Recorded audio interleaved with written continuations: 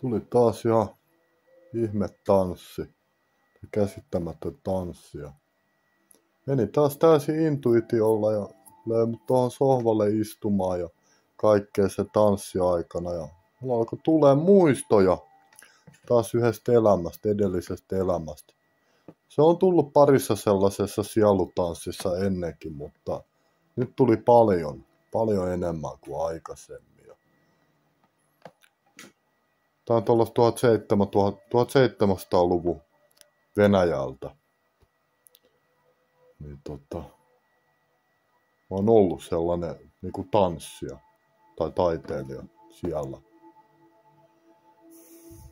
Tämä on ennen sitä Aslakkia. Ja tota, näin, kiva kun aukeaa lisää.